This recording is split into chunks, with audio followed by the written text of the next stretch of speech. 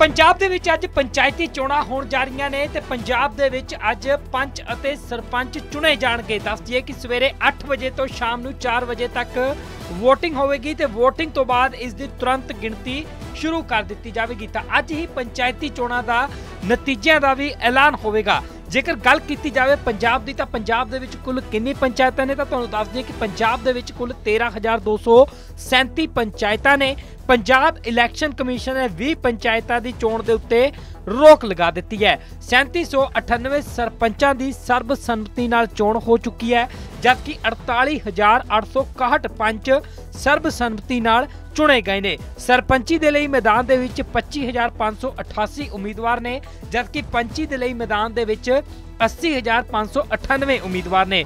ਪੰਜਾਬ ਭਰ ਦੇ ਵਿੱਚ 19110 ਪੋਲਿੰਗ ਬੂਥ ਬਣਾਏ ਗਏ ਨੇ।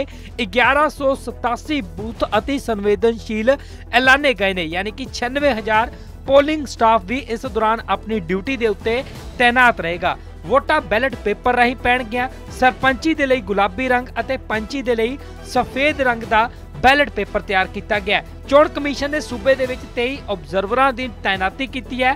ਜੇਕਰ ਗੱਲ ਕੀਤੀ ਜਾਵੇ ਪੰਚਾਇਤੀ ਚੋਣਾਂ ਦੇ ਲਈ ਕੁੱਲ ਵੋਟਰ ਕਿੰਨੇ ਨੇ, ਤਾਂ ਦੱਸ ਦਈਏ ਕਿ ਤੁਹਾਨੂੰ ਪੰਜਾਬ ਦੇ ਵਿੱਚ ਕੁੱਲ ਪੰਚਾਇਤੀ ਚੋਣਾਂ ਦੇ ਲਈ 1 ਕਰੋੜ 33 ਲੱਖ 97922 ਵੋਟਰ ਹੋਣਗੇ, ਜਿਨ੍ਹਾਂ ਦੇ ਵਿੱਚੋਂ 70 ਲੱਖ 51722 ਪੁਰਸ਼ ਅਤੇ 63 ਲੱਖ 46008 ਮਹਿਲਾਵਾਂ ਅੱਜ ਆਪਣੇ ਵੋਟ ਦਾ ਪ੍ਰਯੋਗ ਕਰਨਗੇ। ਤਾਂ ਦੱਸ ਦਈਏ ਕਿ ਅੱਜ ਪੰਜਾਬ ਦੇ ਵਿੱਚ ਸਭ ਤੋਂ ਵੱਡਾ ਦਿਨ ਹੈ, ਕਿਉਂਕਿ ਪੰਚਾਇਤੀ ਚੋਣਾਂ ਹੋਣ ਜਾ ਰਹੀਆਂ ਨੇ, ਅੱਜ ਹੀ ਪੰਚ ਅਤੇ ਸਰਪੰਚ ਚੁਣੇ ਜਾਣੇ ਨੇ। ਸ਼ਾਮ ਨੂੰ 4 ਵਜੇ ਤੋਂ ਬਾਅਦ ਗਿਣਤੀ ਹੋਵੇਗੀ ਤੇ ਕੁਝ ਹੀ ਦੇਰ ਬਾਅਦ ਗਿਣਤੀ ਦੇ ਨਤੀਜੇ ਆਉਣੇ ਸ਼ੁਰੂ ਹੋ ਜਾਣਗੇ। ਤਾਂ ਦੱਸ ਦਈਏ ਕਿ ਪੰਜਾਬ ਦੇ ਵਿੱਚ ਲਗਾਤਾਰ ਸਰਪੰਚੀ ਚੋਣਾਂ ਨੂੰ ਲੈ ਕੇ ਸਿਆਸੀ ਅਖਾੜਾ ਪੱਕਿਆ ਹੋਇਆ ਤੇ ਅੱਜ ਸਵੇਰੇ 8 ਵਜੇ ਤੋਂ ਲੈ ਕੇ ਸ਼ਾਮ ਨੂੰ 4 ਵਜੇ ਤੱਕ VOTING ਹੋਵੇਗੀ ਤੇ 4 ਵਜੇ ਤੋਂ ਬਾਅਦ ਇਸ ਦੇ ਨਤੀਜਿਆਂ ਦਾ ਐਲਾਨ ਹੋਵੇਗਾ।